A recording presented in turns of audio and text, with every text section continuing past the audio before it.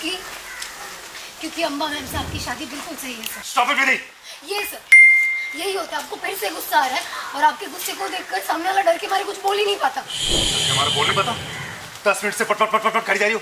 क्या बोल नहीं पाता? सर नहीं बोल पाता। क्योंकि पहले तो ये समझ नहीं आता कि आप कैसे रिएक्ट करेंगे आप क्या करेंगे। दूसरी और सबसे इम्पोर्टेंट बात कि आप समझेंगे कि नहीं। मेरे साथ किसी को ऐसा होता नहीं। होता है सर मुझे होता है।